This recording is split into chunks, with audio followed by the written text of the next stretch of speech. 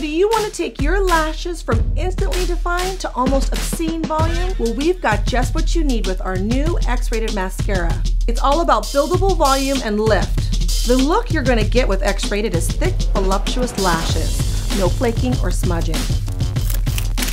So do you want a little volume? Or do you really want to make them stare with extreme volume? X-Rated has tripod fibers that hug the lashes for crazy volume. Pair this fiber with a specially designed brush and you've got the ultimate volumizing mascara. The specially designed triple threat brush isolates, magnifies, and mega coats each lash. First, because we are the primer authority, we want to just start with a little lash primer to really make the mascara pay off. Apply a few coats of X-Rated,